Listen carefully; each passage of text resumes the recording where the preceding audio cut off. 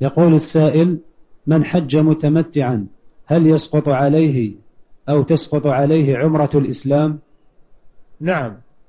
إذا حج متمتعا أو قارنا كفاه ذلك عن عمرة الإسلام. العمرة التي مع الحج تكفي عن عمرة الإسلام سواء كانت تمتعا أو قرانا. نعم.